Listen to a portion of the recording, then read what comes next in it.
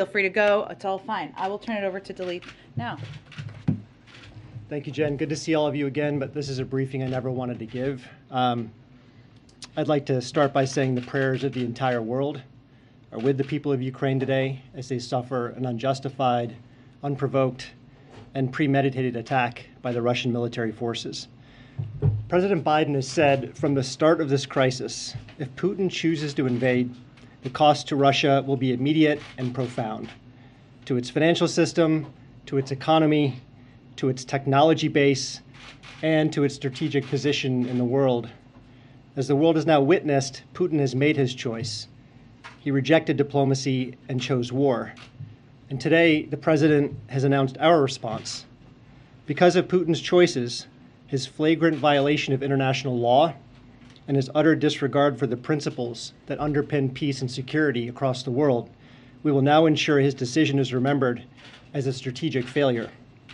Today, we impose an unprecedented package of financial sanctions and export restrictions in lockstep with our allies and partners that will isolate Russia from the global financial system, shut down its access to cutting edge technology, and undercut Putin's strategic ambitions to diversify and modernize his economy. Let me walk you through a few specifics, and I'll be happy to take questions. Uh, on financial sanctions, I stood at this podium on Tuesday and said uh, we would impose the most severe sanctions ever levied on Russia if Putin proceeded with the invasion. Today, we're following through. We will impose sanctions on Russia's two largest financial institutions, Sberbank and VTB, which together hold more than half of the Russian banking system's assets, over $750 billion in total. For VTB, we will freeze all of its assets touching the U.S. financial system and prohibit U.S. persons from doing any business with the bank. For Sberbank, we will sever its access to the U.S. financial system. We'll also freeze the assets of and prohibit any business dealings with three additional Russian banks with combined assets of over $70 billion. We'll also restrict U.S. investors from providing debt or equity financing for 13 of the most critical uh, Russian state owned enterprises, which combined have estimated assets nearing $1.5 trillion. And finally, we'll also impose sanctions on the executives at these state owned institutions, as well as additional Russian elites who are complicit in Putin's kleptocracy and their family members. Those who've shared in the Kremlin's corrupt gains and stored their wealth in yachts and luxury condos and fancy cars will now share in the pain of these measures. In terms of the financial impact, as I said, these are the most impactful and significant sanctions uh, the U.S. has ever taken. But financial sanctions are just one part of our response.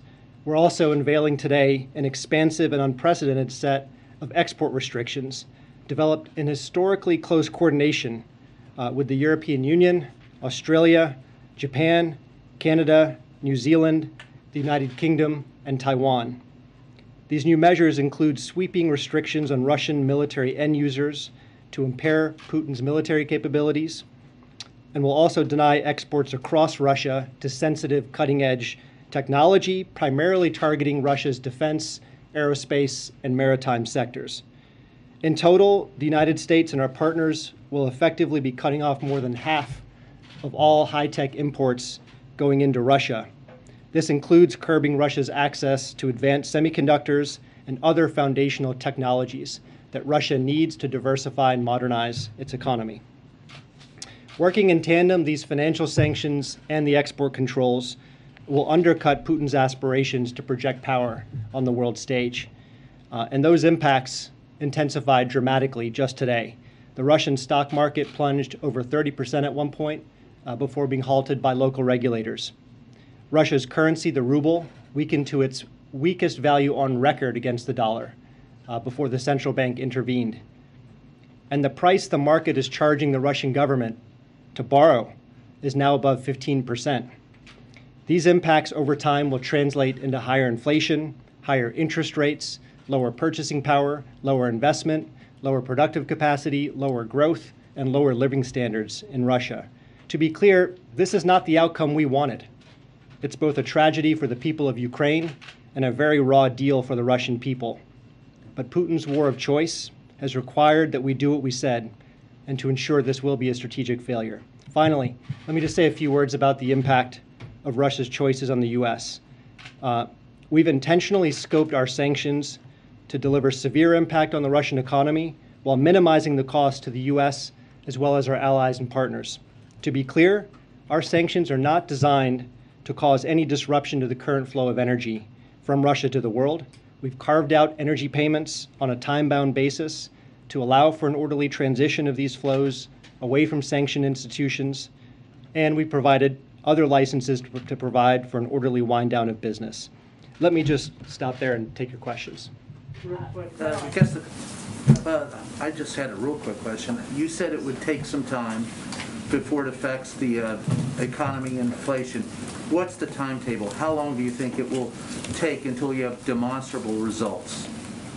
Well, look, um, these are these are costs that build over time, and as I mentioned, I think last Friday, uh, any leader, whether you're an autocrat or a small D Democrat, has to pay attention to the living standards uh, of your country, and uh, already we're seeing the effects of these measures and the signaling that we provided over the last three months.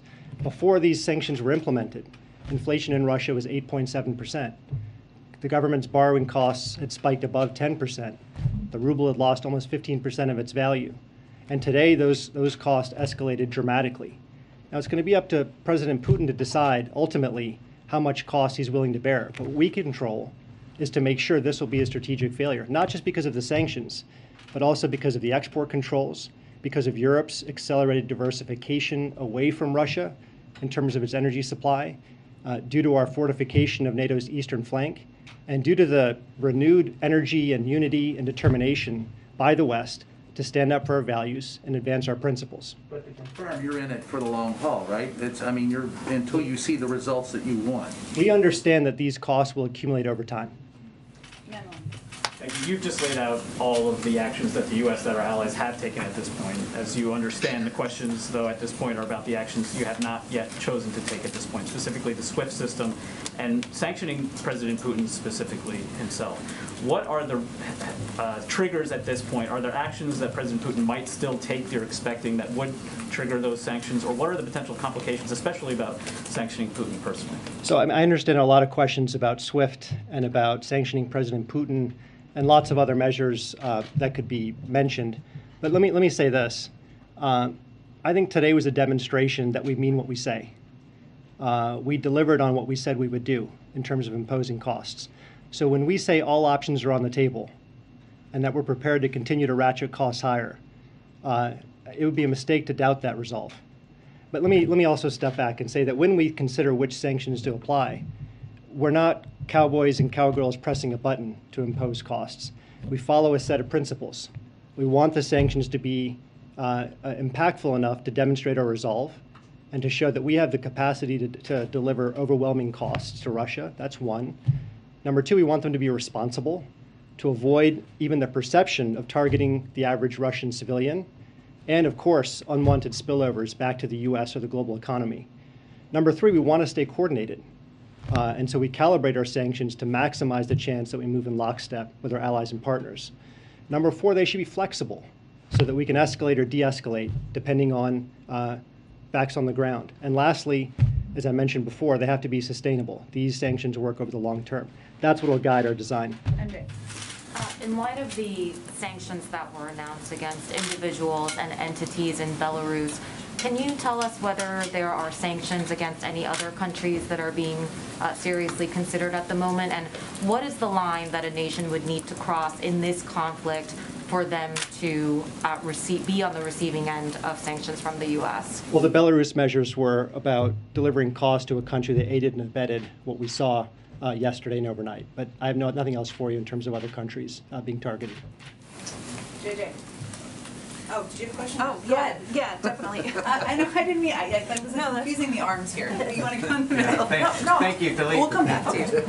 Um, I wanted to ask you about the, some of the carve-outs. Uh, There are general licenses for more than a dozen areas, agriculture, energy, and you just said uh, that the importance is to limit the impact on Americans. But I was hoping that you could say is there a percentage that you can share of the number of exemptions that make up the overall transactions? So the general licenses, how many, how many, what percentage of the transactions are under those licenses? I, I would refer you to Treasury and OFAC for the, for the details on what, what exactly uh, is being exempted and the percentage of business that uh, would be included. I mean, could you say, is it a third, is it a half? I mean, is it a small percentage, is it a high percentage? I I would go back to the, the principles of our design. Um, The measures themselves and the exemptions are balanced so that we can deliver overwhelming costs um, while not having unintended consequences. And so that's the, that's the principle. But as to the specifics, I'd refer you to Treasury. Wouldn't the- Wouldn't the oil be a large percentage? I mean, considering how important it is to, uh, to Russia's bottom line? Well, look, um, where we have an asymmetric advantage is in foreign capital and cutting-edge technology. Um, so that's where we're that's where we're delivering the most concentrated impact. When it comes to energy, um, this is the one area. This is the one area where Russia has systemic importance in the global economy. We know it's the second largest natural gas producer in the world. It's also the second largest crude oil producer in the world. Um, that's not to say that we have a dependence on Russia. Russia depends on those revenues just as much as the world needs its energy. Uh, but we're not going to we're not going to do anything which causes an unintended disruption to the flow of energy as the global economic recovery is still underway. Thanks. Uh, Two quick questions, I believe. One, if Putin takes Kiev, does that trigger additional sanctions, specifically that scenario? Uh, not going to speculate on particular hypotheticals. And you, you mentioned the timeline, you've been asked about the timeline. The president said in one of the answers to his questions today, he said, let's have a conversation in a month to see if these sanctions are working. But my question is, what happens in the meantime? Russia is taking over parts of Ukraine, major parts of Ukraine, as we speak. So the world just sits back and watches that happen until these sanctions take effect. Look, we can't dictate Putin's actions. What we can do is what's within our control, and to make sure this is going to be a strategic failure uh, for Russia. And so, over the course of the next month, what you can expect is that we'll see an intensifying negative feedback loop in Russian markets. And I've described the elements of that. You'll see record capital outflight, uh, capital, record, capital outflows. You'll see a weaker currency. You'll see higher inflation. You'll see lower purchasing power. You'll see lower investment. And that negative feedback loop, the velocity of it, is going to be determined by Putin's own actions. And so that's what you should expect on the financial sanc- sanctions front. On export controls, what you can see is that over time, this is going to atrophy Russia's capacity to diversify outside of just oil and gas and to modernize uh, the strategic sectors that Putin himself has said uh, he wants to develop aerospace, defense, IT, lasers, sensors. These sectors all depend on foundational technologies designed and produced by the West. You will begin to see a chilling effect uh, uh, take hold in Russia as those inputs are denied. Thank you. Um, For weeks now, administration officials have repeatedly said, yourself included, that these sanctions are meant to deter and prevent Putin from moving forward, from acting. Can you help us understand why the president said today that no one expected the sanctions to prevent anything from happening? And then secondly, on a quick one on Putin sanctions, um, without talking about when you might trigger them, can you help us understand what harm they would do to him personally if you were to sanction Putin? Look, on your first question, we don't usually engage in um, hypotheticals up here at this podium, but let's play this out. Had we had we unleashed our entire package of financial sanctions preemptively, I think a couple of things might have happened. Number one, uh, President Putin might have said, uh, "Look, uh, these people are not serious about diplomacy. They're not engaging in a good faith effort to promote peace. Instead, they're escalating, and that could provide a justification for him to escalate and invade." Secondly, he could look at it as a sunk cost. In other words, President Putin could think, I've already paid the price. Why don't I actually take what I paid for, which is Ukraine's freedom? Um, so that's that's what we wanted to avoid. Look, ultimately, ultimately, um, the goal of our sanctions is to make this a strategic failure for Russia. And let's define a little bit of what that means. Strategic success in the 21st century is not about a physical land grab of territory. Uh, that's what Putin has done. In this century, uh, power, strategic power, is increasingly measured and exercised by economic strength, by technological sophistication, and your story who you are, what your values are. Can you attract ideas and talent and goodwill? And on each of those measures, this will be a failure for Russia. Mr. Singh, I, No, keep, I- I, keep asking you the I'm same sorry, I question. didn't, I don't Simon, think, she's not done yet. Excuse Let, me. let Bridget finish. Go ahead. On President Putin. but did you, but is it fair to say no one expected the sanctions to prevent anything? You certainly expected that, right? Look, we, we signaled as clearly as we could what was coming if Russia proceeded with an invasion. Um, you know, as I mentioned before, economic costs of this severity generally matter uh, to any leader uh, because of the effect it has on, on his people's living standards. In this case, Putin made the wrong choice. Mr. Singh, how do we ensure, I keep Let asking J- you the same JJ's asking a question, How do we Simon. ensure Go ahead, One more that on- JJ. one more on SWIFT, please. Don't really Sure. affect The ordinary, UK ordinary has been pressuring allies to still reject Russia from the SWIFT system. Can you say if the US is still intensely working to pressure allies to do the same? How intensely are you guys I, pursuing I can't comment on what the UK's position is. I'm not. Um, I'm not going to speak to that. But what I'll say is the sanctions measures we imposed today, I think without question, were the most consequential ever levied on Russia, and arguably the most consequential ever levied in history. If you look at the aggregate financial impact on Russia, um, so that's why we took the measures that we did, and we did so because we could move in lockstep with our allies and partners, and because we think the spillover effects will be manageable. But I'm still, I'm trying to figure out if this is still a realistic live round. Is the US really still making an intense effort for this, or is it essentially? This being SWIFT. Look, again, I'm, I'm just going to repeat, all options are on the table, and we're, we're prepared to ratchet costs higher at a time and place of our choosing.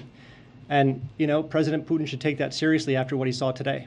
Michael? Mr. Singh, how do you ensure that these sanctions don't Simon, Simon, Michael, let Michael ask his question. Go ahead, Michael. same question. Just two questions. Uh, First, if you were to sanction uh, Vladimir Putin, do you know where his money is? Not going to comment on that. And- And secondly, um, if, uh, uh, what is the message to Russia at this point on what it would take to roll back and relieve some of the sanctions that you put in place today? Look, um, the, the road to diplomacy is always open. Um, diplomacy is never dead. But in the current circumstance, in the immediate aftermath of an invasion, um, that, that option is not available. Right now, we're imposing severe consequences on Russia for its decisions. Uh, if there were to be a shift in, in Russia's strategic choices that upheld core principles of respecting your neighbor's borders, respecting your neighbor's sovereignty, allowing countries to have the freedom to set their own course and their own destiny, that would be a different situation, but that's not where we are. Tyler? Mr. Um, You uh, suggested that there's things that still remain on the table, but as you walked through the hypothetical scenarios of trying to keep diplomacy open, um, you, you said that they have now crossed the line. But if you're saying there's still more on the table, do you expect things to get worse in the coming days, that Russia will continue to move forward? Is that the intelligence? I know you guys have been quite transparent about the intelligence you have. Are you keeping things back because you think the situation is going to get worse? I think we've, we've been transparent in, uh, to a remarkable degree. One aspect of that transparency is by saying um, we can't get into President Putin's head. And so your question requires me to speculate on, on how he's thinking about next steps, and I, I simply can't do that. But just in terms of U.S. intelligence and the way that you are planning out the different sanctions you have and, and keeping things on the table, is that a, a sense that it, it, it will get worse because you want to hold things back? Look, our job is to be prepared and manage risks, all manner of risks. Uh, and that's what we've been doing over the past three months as this crisis intensified. We'll continue doing that. Last one from Steve. that Go ahead. Just to follow don't up, affect uh, follow up ordinary from people in Franco. Russia? The, targeting the Russian en- energy industry is totally off the table. Is that what you're saying, Daleep? What I'm saying is that our measures were not designed to disrupt in any way the current flow of energy from Russia to the world. Now, um, we have also said we are going to cut off Russia's access to cutting edge technology. That technology can be used across many sectors.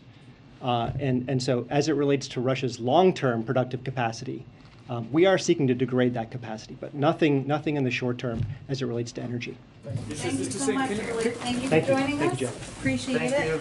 Okay, uh, I know it's late, uh, but we will get to as many people as possible. I just wanted to note a couple of things um, at the top for all of you. Uh, One, uh, USAID put out an announcement that they've deployed a DART or Disaster Assistance Response Team to respond to humanitarian needs in Ukraine. Uh, This DART team, which is currently based in Poland, is working closely with European allies and partners who will be on the front lines of the response. The team will lead the U.S. government's humanitarian response to help address critical needs caused by Russia's invasion of Ukraine. Uh, the DART comprises 17 disaster experts from USAID who are assessing the situation, identifying priority needs to scale up assistance inside Ukraine, and working with partners to provide rapidly needed assistance to communities affected by the conflict. I know a number of you have also asked me, and we've tried to provide as much detail as possible about uh, how the president has spent his time over the last uh, period since last evening. I think we put out a few details, but just to reiterate for all of you, um, he closely monitored uh, the events on the ground uh, from both the Oval Office and then back in the residence uh, over the course of last evening. We put out a few details last night, including the fact that he spoke repeatedly with his national security advisor, Jake Sullivan. He also spoke with his U.S. UN ambassador, Linda Thomas Greenfield, before she gave that powerful speech uh, at the UN last night. He received a briefing from uh, Secretary Austin, Chairman Milley, uh, Secretary Blinken, and his national security advisor around 11 p.m. approximately uh, last evening as well. And as you know, he also spoke with President Zelensky. He continued to monitor closely uh, into the wee hours uh, last night. Uh, this morning, as you all know, he engaged or he met for just about an hour with his national security team, which included. Um, both a full table in the room and full members from, from the cabinet, from the national security team on the screen. Uh, during that meeting, uh, as is standard, he received an update from, of course, Defense, Intel, his diplomatic team about the status on the ground, and he has, of course, remained closely engaged with them through the course of the day. As you know, he also had a G7 meeting that lasted a couple of hours this morning, and he also spent an hour this afternoon on the phone with the uh, leaders leaders in Congress, Democratic and Republican leaders in Congress, briefing them on the situation on a secure call, uh, briefing them on the situation on the ground, uh, answering questions they had as well. Uh, so that has been uh, his day to date, uh, and he is continuing, of course, to focus on other priorities as president. But why don't we go to you, Zeke? Thanks, Jen. Just picking up on that, has the president made any additional foreign leader calls today? Has he spoken to President Zelensky um, since their, their, their call last evening? There's not been another call to President Zelensky. I expect, as, as you have seen over the past several days, he will continue to have calls with leaders. We will keep you abreast as those happen. And with the U.S. government saying that it, it believes that the Russian objective right now is to quote, decapitate uh, the Ukrainian government, does, does U.S. believe that President Zelensky at this moment is safe? Uh, we're not going to get into security uh, security questions, but we are in touch with President Zelensky, and we are uh, working to provide him a range of support. And uh, President Zelensky, in addition to calling for uh, the West to impose to cut Russia off from SWIFT, also proposed uh, or called for, demanded, I think, was the word he used in a tweet, that the that the U.S. And, and its allies impose a no-fly zone over Ukraine. I know the president has said that he won't put U.S. boots on the ground in Ukraine to fight Russia.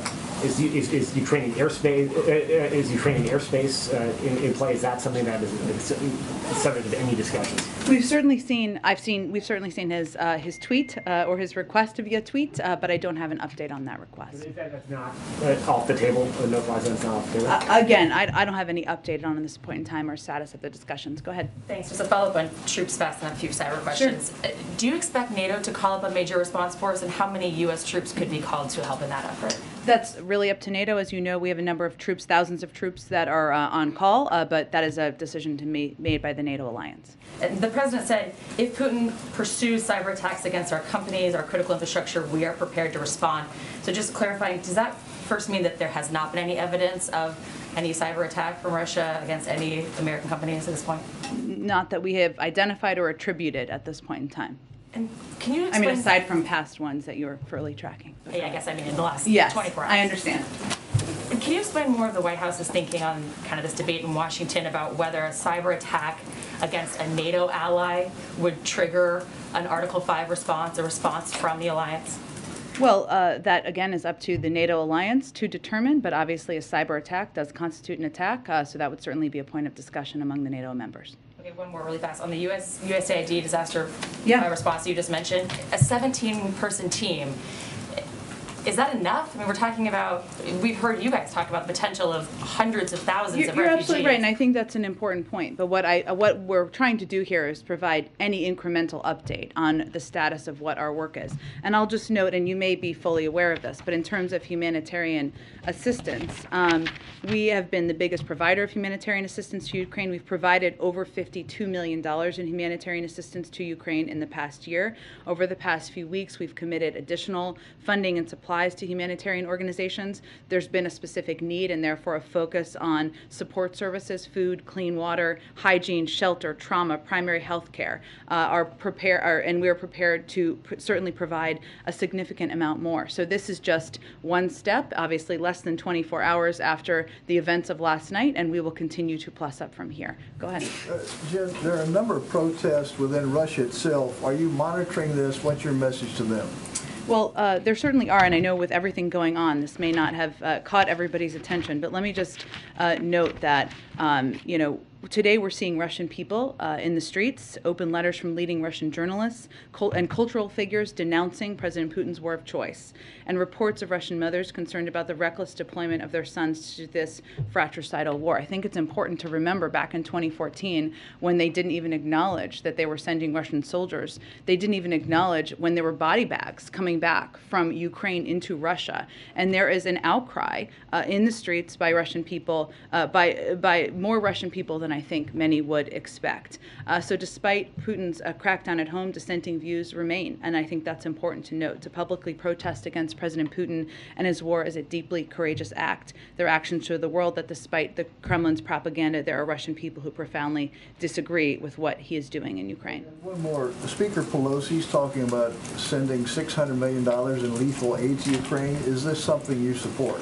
We are in uh, conversations uh, with uh, Congress, and I mentioned the president spoke with leaders uh, just earlier this afternoon. I don't have an exact number, but those are ongoing conversations about uh, what needs the Ukrainians have on the ground in a variety of categories security, humanitarian, other economic assistance. Go ahead. Does the U.S. have uh, any analysis to indicate that there is dissent or division within Putin's government, or is it your understanding that Putin's government is united in this war? It's an interesting question, and Jamie, without getting into intelligence, uh, which obviously we look at, um, I mentioned obviously Russians, protesting in the streets. That's not exactly what you asked about. But if you watched uh, the uh, meeting the President, uh, President Putin had uh, with uh, members of his national security team the other day, it was quite striking the back and forth he had with his intel chief in that meeting. And uh, the, the analysis of that is certainly can be done in an open source manner, given it was quite public. But I will leave outside analysis to uh, to give further assessment of that. And, and as you know, uh, we are seeing Ukrainians start to flee the country. Yeah. Is the U.S. prepared to accept Ukrainian refugees? We are, but we, we certainly expect that most, if not the majority, will want to go to Europe in neighboring countries. So we are also working with European countries on what the needs are, um, where there is uh, capacity. Uh, Poland, for example, where we are seeing a, a an increasing uh, flow of refugees over the last 24 hours, or throw of, flow of individuals, I should say, out of Ukraine, what their needs are, and we've been talking and engaging with uh, Europeans about that for some time now. Part of what you're doing is to prepare for the United States to accept. The, the president is certainly prepared for that, but I would just note that because uh, there are a number of European countries neighboring Ukraine who have expressed an openness to it, um, we would anticipate many of them would want would want to go to European countries. And just one more quick question. Uh, The president, of course, has repeatedly said that American troops will not enter Ukraine. Is there any scenario that has been discussed where that decision might be reconsidered? The president uh, has no intention of sending uh, U.S. troops to fight in Ukraine. That has not changed. Go ahead. Um, this was asked of the president earlier, but I don't think we got a full answer. Yesterday, uh, Vladimir Putin said that he warned if uh, others are involved of such consequences that you have never encountered in your history. Does the U.S. understand that as a threat of using nuclear weapons? Um, Well, we, we can't obviously get into the mind of President Putin as much as he said that, uh, nor do we know uh, all the specific details about his strategic posture, but we don't see any increased threat in that regard at this point in time. Go ahead. Uh, Just follow up on some of the cyber questions. Sure. Um, I know that you and others have talked about how uh, the government is on alert for the potential of a cyber attack. But can you share, like, are there any specific steps that are being taken uh, that you can share that the U.S. is doing to protect the infrastructure, power grid, U.S. banks? Uh, Well, I, I would say, one, we've been, uh, there's been efforts that have been ongoing for some time, since the beginning of the administration, to harden um, the private sector, or work the, with the private sector in partnership to harden their cybersecurity protections. We've actually seen a great deal of progress made in the financial sector. It's, it's one of the stronger sectors in terms of protections from a cyber front uh, that we see out there. Uh, so it's been ongoing for several months. Um, obviously, uh, when there are moments like this where we continue to watch and look for what the potential is, uh, we will we continue to re- to engage closely with a range of industries about what they need to do about the potential threats, um, and that's something that happens obviously privately and through a range of agencies. I can see if there's anything more specific that we can read out to all of you. Just real, just real quick, one follow-up. Uh, President Biden said they are, that the U.S. is prepared if an attack comes there. Would, uh, pardon me, he said prepared to respond. Would that response be a? A cyber attack, A cyber yes. attack, yes. Would that be an equivalent cyber attack against Russia? Uh, well, I would say that uh, the president reserves the option uh, to respond in any manner of his choosing, uh, overt or covert, um, uh, seen or unseen, as we like to say in, in more uh, available English. Um, but I'm not going to get into specifics of what that looks like. Uh, he has a range of options. Go ahead. Thanks. On oil prices and Yeah. the SPR, does the administration have an oil price in mind that would trigger another release from the SPR? I think not that we're going to get into detail or from here, uh, JJ. I understand certainly the question. Um, you heard the president talk about today, and I can just reiterate a little bit, is that what has been ongoing, both from the president, who's been very engaged in this, uh, having conversations with leaders in the Middle East and other parts of the world, as well as many members of his national security team, uh, taking whatever steps we can to mitigate uh, the impact on the global oil markets. Uh, and obviously, that means increasing supply. Obviously, a coordinated release from the Strategic Petroleum Reserve would be part of that. But in terms of what that looks like or the specifics, I'm just not in a position to get into more details at this point. Thanks. If the worst happens and Russia either reduces the flow of natural gas or cuts off energy altogether to Europe, does the administration have a good idea for how long households in Europe could last under that kind of circumstance? I, I don't have an assessment of that um, from here. I can certainly check with our economic team.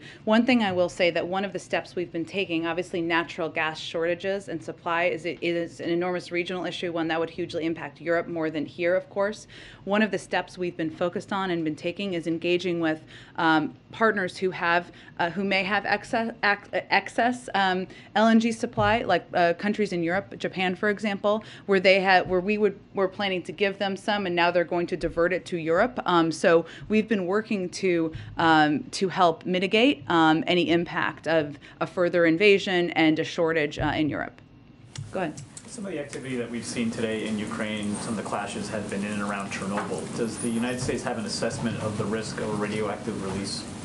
So I, I do have one actual update on that as well. There's also been, uh, there was also a um, report out, so let me speak to this first, just so I don't forget, um, about um, uh, host, uh, uh, hostages uh, around there as well. So let me speak to that first. Uh, we are outraged by credi- credible reports that Russian soldiers are currently holding the staff of the Chernobyl facilities hostage. This unlawful and dangerous hostage taking, which could upend the routine civil service efforts required to maintain and protect uh, the nuclear waste facilities, is obviously incredibly alarming and greatly concerning. Concerning, we condemn it and we request their release. In terms of a further assessment, I don't have anything more on that from here. You gave a readout of how the president spent past 24 hours or so. Uh, First, I wanted to ask about his call with President Zelensky. Did he indicate if he was still in Kiev? Did he identify his location at this point? Uh, we are aware of where uh, he is located, um, and we are in touch with him. I would say on that call, uh, what uh, what um, they discussed is uh, President Zelensky's uh, request for the president to be to condemn the actions of President Putin and the Russians, and to engage with other global leaders about it. And that's exactly what he's done. We've seen a number of statements today from former presidents, President Obama, President Bush, and also saw former President Trump on television talking about this. Has the president, you mentioned during the Afghanistan drawdown, he had been in contact with his predecessors. Has he been in touch with any of his predecessors during this? He has not been today. And then in terms of another domestic priority Mhm. that was potentially included in his meetings today. Uh, Given the situation, his time and focus and attention on the Supreme Court, uh, excuse me, on Ukraine, will this affect the timing of his Supreme Court announcement at this point? Uh, we, we are still on track to make an announcement before the end of the month. We have to do a lot of things around here at the same time. Go ahead. Uh, just to follow up on the cyber attacks and Article 5 question, I know you said that it's up to NATO to decide, but from a U.S. perspective, uh, would any cyber attack against a NATO ally trigger Article 5, or would there be a measure for what, what counts? Again, this is a conversation we would have with our NATO allies and partners. I don't have more, ad- anything in addition to add to it. And just to follow up on the Supreme Court, um, I know you said you're on, on track, but has he made a final decision, given there are basically two days left uh, for the end of the month? Uh, Not a, not a final, final, uh, and no offer has been, no job offer has been made. Go ahead. Thanks. Uh, Just a couple. Um, Are there any concerns or indications at this point that Russia had prepared for the sanctions that you're putting in place and kind of developed preemptively ways to blunt that impact? Well, uh, it's an interesting question, and it's and some of it is is hard because it's hard to get into the minds of President Putin and the oligarchs around him. Uh, one of the steps we tried to take is to, uh, you know, as we were as we were contemplating the individuals we were going to uh, sanction, we uh, we sanctioned uh, family members as well, because what we've seen the tactics they've used in the past is they've moved money around and resources around to family members, and we tried to address that on the front end.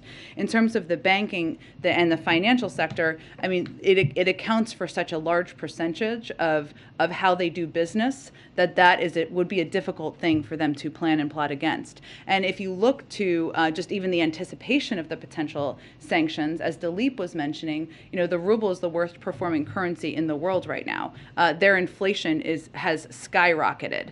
Uh, so we're even seeing in their markets the anticipated impact even before today, and that's even before the actual squeeze on uh, on the financial sector uh, in the country. Uh, so it, it, it feels to me would be a little hard to plan around and plot around given the significance of what was done today and the fact that um, when we uh, sanctioning 10, uh, 10 of Russia's financial uh, institutions and these export control measures, which essentially cuts President Putin off from semiconductors and access to a range of technology he wants for the future. Uh, those are difficult things to, uh, plan ahead for.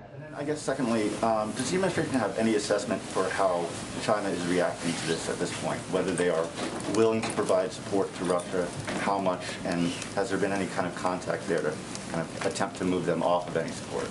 Well, uh, uh, in terms of uh, what impact they can have, I mean, China uh, only accounts for about 15% of China and Russia. I'm not sure. You can double check me on this. About 15% of the global economy. If you look at G7 partners uh, in the U.S. and Europe, it's about 50%, right? So they cannot cover. Uh, what the impact of the sanctions that have been announced in coordination with Europe would, how they would impact Russia. You know, I think from our perspective as it relates to China, well, I can't get into the heads of, of what their thinking is. You know, this is a really a moment for China, for any country, to think about what side of history they want to stand on here. Um, and you know that is certainly the the the case that um, we would make publicly and privately. I think you saw that Secretary Blinken spoke with his counterpart just a couple of days ago. Uh, you know the president's certainly open to speaking with his counterpart, but I don't have any prediction of that at this point in time or a timeline. Go ahead. Thanks, Jen. Over the past couple of weeks, as you've been sounding the alarm on this, you've put the sanctions package together, done, conducted diplomacy with the Russians and the rest of the world. Um, how did uh, the Ukrainian government use that time, uh, since they've been initially warned that this was a likelihood? Did they use that time wisely to prepare? Tell me more about what you mean exactly. Well, uh, you're seeing reports from uh, uh, the streets in, in Russia of, uh, sorry, in uh, Ukraine of people being surprised. Uh, you had obviously uh, local and national leadership in Ukraine uh, uh, telling people to stay calm, to remit, to go to work, even the day before uh, the invasion began. So, were they properly prepared, and was there more that they could have done uh, in up? Look, I think it's not particularly constructive for us to give an assessment of that. Uh, what uh, what I can tell you is that our focus has been on providing uh, up to date. Uh, what has turned out to be quite accurate and transparent information about what the President Putin uh, has was preparing to do, uh, which was invade Ukraine. Uh, and we have been very clear with American citizens who are there. We have been clear with our European partners uh, for months now, uh, including Ukrainian leadership. Uh, so that has been what our focus has been. Um, and you know we will remain a strong support, supporter and partner of, uh, of uh, President Zelensky in Ukraine moving forward. Go ahead. Thanks, Um, Following up on the sanction question. Yeah. uh, We have heard for, for weeks that these sanctions were at least in part, a part of a strategy that was based on deterrence Yeah. as well as prevention. Uh, Today, with the president's comment that no one expected the sanctions to prevent anything from happening, moving forward, do you expect this slate of sanctions to prevent any further advancement or aggression from Russia? Well, I would say that later in the later in the back and forth or the press avail, he also said when asked um, if sanctions cannot stop President Putin, what penalty can? And he said, I didn't say sanctions couldn't stop him, which leads me to believe that's not exactly what he meant. He also went on to say the threat of sanctions and imposing the sanctions and seeing the effect of sanctions are two different things. And the way we look at this, broadly speaking, and Daleep touched on this a little bit, is that we do see them as having a deterrent I- impact, right? It doesn't mean they're 100% foolproof. But if you, um, if there's a 95% chance of Russia invading without the threat of sanctions, and there's a 60, I'm making up these percentages just to make a point, but uh, and a 65% chance uh, that they will with them, you're obviously going to go with the threat of sanctions because you want to reduce the threat of an invasion. So there is a deterrent, and we've seen a, the deterrent impact work at times, right? Um, I'd also note that that we are very clear-eyed about the fact that President Putin, not just a few days ago, I mean, he gave the speech a few days ago where he questioned the legitimacy of Ukraine as a sovereign country. He's also talked about how the breakup of the Soviet Union was the worst thing that's happened. That's a paraphrase um, in recent, uh, you know, in, in decades of history. So we are clear-eyed about his ambition. But what the other part of it that we are quite focused on is the consequences. And the way we see it is, you know, as we've touched on a little bit, inflation skyrocketing, the ruble is the worst performing currency in the world. It was his decision to go to war. It's our choice to make him pay a price. Same with the global community. And we believe these consequences are also going to have an impact. Uh, just at the risk of repeating your question as well, I mean, the- president did also say, you know, let's check in in a month, and there has been some questions about time here. It seems like this is a strategy to use these sanctions to put pressure on Russia to eventually discourage them to pull out, or to, to force them to pull out this, this advance. So what is the timetable here, you think, for when the Russian government will start actually feeling the impact of these sanctions and possibly pull out? Well, in many senses, they're already feeling the impact. I mean, look at where the ruble is. Look at where inflation is. Look at uh, where the markets are in Russia. Um, in terms of how Putin will feel the, the impact, we just sanctioned a range of oligarchs around him. We sanctioned 10 financial institutions. Um, these are all uh, these are all significant, um, in, enormous steps that are going to have an impact on him. But in terms of the moment by moment, I can't give you an assessment of that. Just off topic, just, uh, there's been a lot of questions about refugees in the region. Yeah. For Ukrainians that are in the country. Yeah. Is the U.S., especially after yesterday, considering TPS or any sort of protection? Sure. As, as you know, that's a, a decision that would be made through an interagency process led by the Department of Homeland Security, um, and I don't have any prediction of that. I mean, I don't have any kind of prediction of that uh, at this point in time. Obviously, these these events are just unfolding as we speak. Process hasn't started, that conversation? I'm not going to give you any specifics on an internal process, but I would just say again, it's an interagency process, and right now uh, we're of course in the middle of an invasion and uh, and a uh, you know a war in uh, in Ukraine. Go ahead. Thanks, Jen. Earlier you had said uh, you have to do a lot of things at the same time. One of those things, of course, is the State of the Union next week. Yes. Can you tell us how the president this week has been preparing for that? How much time he spent on this speech, and how he's juggling that with this very busy schedule that you laid out earlier tonight? Yeah, absolutely. Um, so, in addition to obviously uh, being very closely engaged and leading the effort uh, on the U.S. response uh, to the Russia to Russia the Russian military invasion of Ukraine, uh, the president has been uh, working with speechwriters, uh, working with members of his policy team to finalize details of his State of the Union. Doing starting to do some read-throughs, not too many yet. I expect those will increase in the days ahead. I expect we won't have too much of a preview for you, maybe tomorrow, but maybe more likely this weekend. Weekend. Uh, he's also been uh, engaging with his COVID team, uh, talking about where we are in the state of the pandemic, what's next in the pandemic. Uh, he's been working closely with his economic team on uh, and receiving updates on the supply chain, the implementation of the infrastructure bill. So even as we have all been understandably focused on the conflict in Ukraine, the president has been very hard at work on a range of issues that are vital to the American people. You touched on my follow-up. ABC is reporting that the White House is revamping the COVID strategy now that hospitalizations are on the decline. Should we ex- expect the president to roll that out in the speech next Tuesday?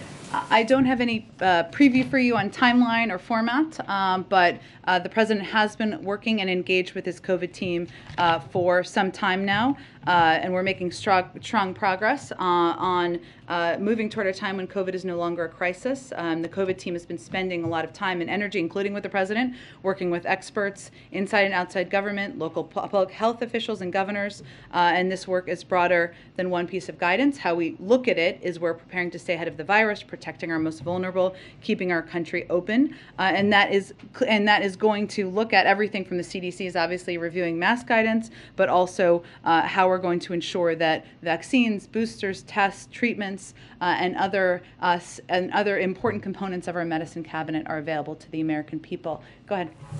Thanks, Jen. I had a couple of Oh, questions. sure. And then I'll go to you next. Go ahead. Thanks. I had a couple of questions. First, a follow-up about some of the humanitarian needs you've been talking about. Sure.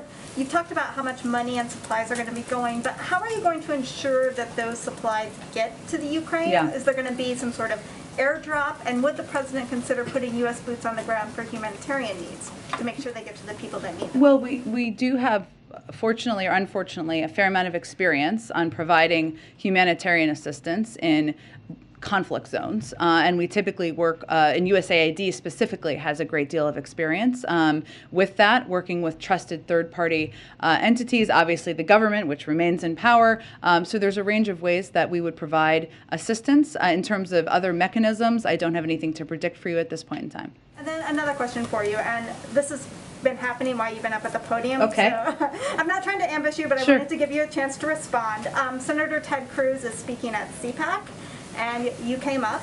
He Oh. um, he called you "quote unquote" peppermint patty, and has Oh. encouraged people to boo you. So I wanted to. Don't tell him I like peppermint patty.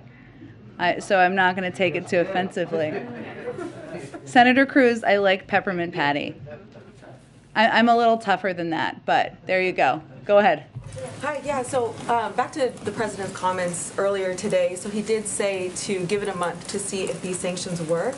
Yeah. However, you know, under Russia's current assault, Ukraine clearly might not have a month or even weeks. So is it fair to say that he is conceding Ukraine to, to Putin? There's nothing about the president's strategy or approach or leadership in the world, uh, building a coalition of uh, the majority of countries, uh, you know, in the Western world uh, to stand against the actions of President Putin uh, that that's, that suggests that he is ceding anything. Um, you saw him lay out a set of uh, of, of historic uh, sanctions today that will maximize pain on Russia. Yes, uh, as we've as we've conveyed, they're meant to have a squeeze over the course of time, but we're already seeing an impact on the financial markets, on the currency, on inflation in Russia, and there is a there are unfortunately the Russian people are going to feel the pain of that. Uh, so I would say the president is going to continue, uh, as he has for weeks now, to work in close lockstep with European partners to continue to press